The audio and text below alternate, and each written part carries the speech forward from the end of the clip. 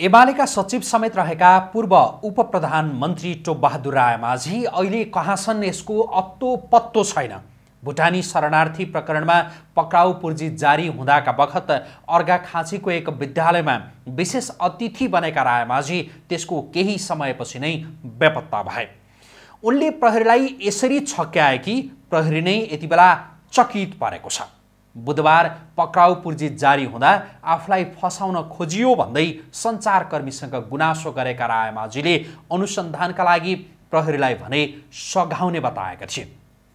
अनुसन्धानमा प्रहरीलाई सघाउनु आफ्नो कर्तव्य भएको बताएर त्यहाँबाट बाहिरिएका रायमाझी आफै प्रहरीकोमा उपस्थित हुने अनुमान गरिएको थियो। प्रहरीका उच्च पदस्थ अधिकारीलाई फोन नै गरेर आफ्ना विरुद्ध जारी भएको पक्राउ पूर्जी के हो भनेर उनले सोधखोज समेत गरेको भन्ने खबर सार्वजनिक सञ्चार माध्यमहरूमा आएका थिए। प्रहरीका उच्च पदस्थ ती अधिकारीसँग उनले आफै प्रहरीकोमा आउने बताएका थिए। बहादुर आमाजी आफैले प्रहरीलाई फोन गरेर म आउँदैछु भनेपछि प्रहरी उनको बाटो हेरेर बस्यो।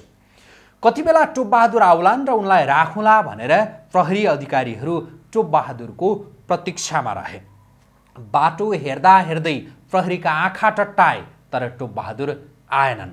यो त भयो बिहिबारको कुरा। अब कुरा गरौँ बुधबारको। टोप बहादुरले प्रहरीलाई कसरी छक्याए भन्ने कुरा सुन्नेका लागि रोचक छ। काठमाडौँमा उनका विरुद्ध पक्राउ पूर्जी जारी भएको खबर जसरी तीव्र गतिमा फैलियो त्यही गतिमा टोप बहादुरका योजना पनि छिनछिनमै फेरबदल भयो। अर्घा खाँचीको कार्यक्रम सकेर उनी बुटोलतिर हानिए। सभामुख देवराज घिमिरे प्रमुख अतिथि रहेको अर्घा खाँचीको त्यो कार्यक्रममा उनी विशेष अतिथि थिए।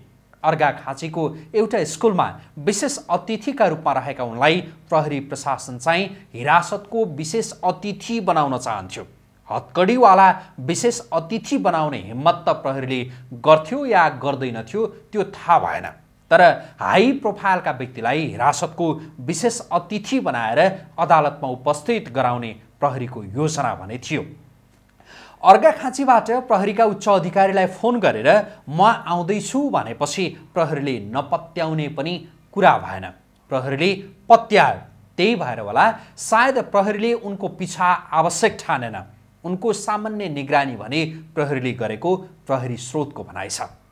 प्राप्त जानकारी अनुसार अर्घाखाँचीको कार्यक्रम सकेपछि त्यो रात बुटोल बस्ने टोपबहादुर रायमाझीको योजना थियो।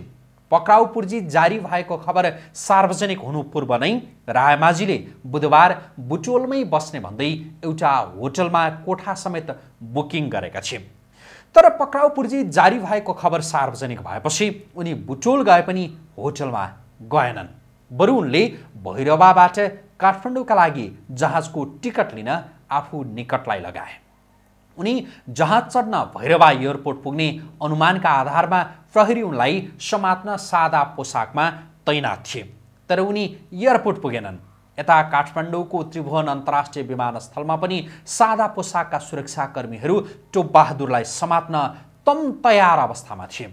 तर उनका लागि गरिएको प्रतीक्षा अर्थहीन बन्यो। प्रहरीलाई छक्क्याएर उनी अन्तै लागे। प्रहरी उच्च स्रोतले दिएको जानकारी अनुसार बुधबार रायमाझीको अन्तिम लोकेसन भैरवामा ट्र्याक भएको थियो तर त्यसपछि भने उनको लोकेसन पत्ता लागेको छैन।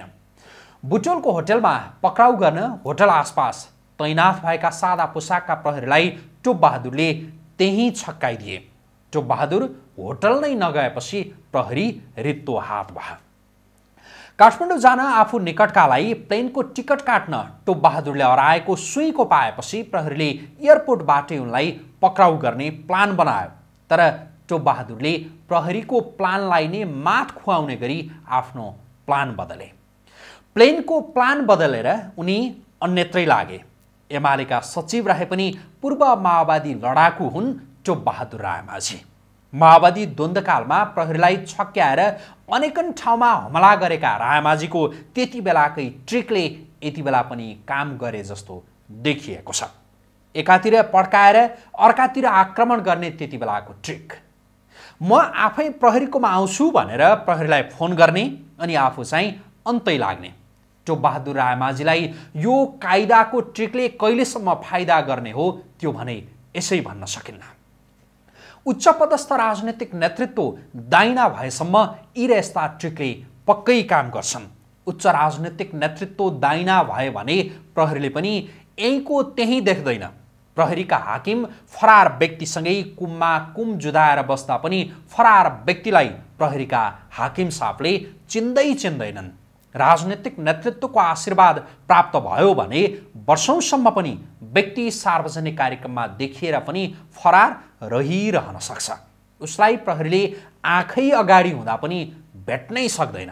त्यसैले सबै ढुक्क भए हुन्छ उच्च राजनैतिक नेतृत्व दाइना रहेछन् भने टोपबहादुर आमाजी पक्राउ परुन् भनेर जसले जतिसुकै धुप हाले पनि उनी पक्राउ पर्दैनन्। उनी फरार नै रहन्छन्। तर त्यस्तो होइन रहेछ भने चाहिँ उनी पानी मुनि नै गए पनि प्रहरीको फन्दामा पर्छन्। नक्कली भुटानी शरणार्थी प्रकरणमा प्रहरीको पक्राउ सूचीमा रहेर फरार रहेका टोपबहादुर रायमाझी माओवादी परित्याग गरेर एमाले प्रवेश गरेका नेता हुन्। उनी एमालेमा ओलीको त्यति धेरै विश्वास पात्र त होइनन् तर आफूलाई दुःखमा साथ दिएका नेता ठानेर ओली यति बेला उनको बचाउमा लागिरहेका छन्। नेकपा छुट्टिएर एमाले र माओवादी अलग अलग भएपछि माओवादीमा नबसी आफूतिर आएको गुण ओलीलाई छ।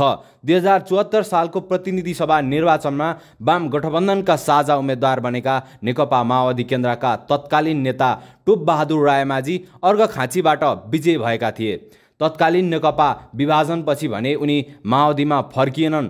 केपी ओली क्याबिनेटको तिन महिने मन्त्री बनेकै बेला उनलाई माओवादीले कारवाही गरेर सांसद पद खोस्यो।